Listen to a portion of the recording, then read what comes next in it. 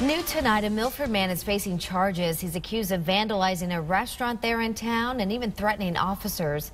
Milford police arrested 47-year-old John Katrick just this morning. Police say he damaged the door of that restaurant on New Haven Avenue. Ended up smashing some potted plants outside as well. Police say the officers also spotted him throwing cinder blocks at passing cars. Police say that Katrick had a screwdriver in his hands when they got there. They ordered him to drop it, but they say instead he tried getting into his car. Officers later used a stun gun on him and took him into custody.